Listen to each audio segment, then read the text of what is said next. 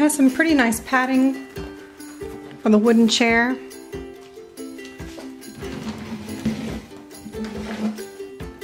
Gonna flip it over so you can see how to fold it back up. This pin is what locks it in place. So when you want to fold it, you're gonna need to pull this to release it and that way you can push it and fold back together.